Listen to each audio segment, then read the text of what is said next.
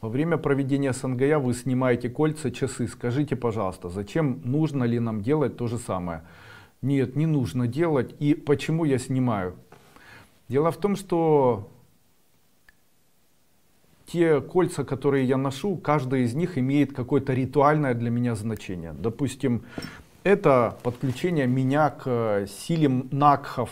Кто такие наки, я рассказываю. Вот это кольцо мне подарила жена, и это было кольцо, подаренное в честь годовщины нашей совместной жизни. И я его очень ценю, потому что очень теплые отношения. Обручальное кольцо вот я ношу, это тоже я его сделал, потому что я очень люблю отношения, семью.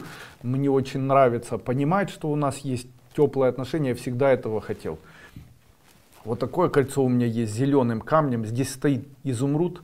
И этот изумруд, я на него начитал специальную мантру, ее начитал на протяжении нескольких лет, и если его одеваю себе на этот палец, то не на меня воздействовать нельзя, не я не могу ни на кого воздействовать. Поэтому для того, чтобы воздействовать можно было мне на кого-то, а кто-то на меня, я его снимаю. Таким образом, вот это кольцо является оберегом для меня, то есть я его ношу и мне сделать ничего нельзя.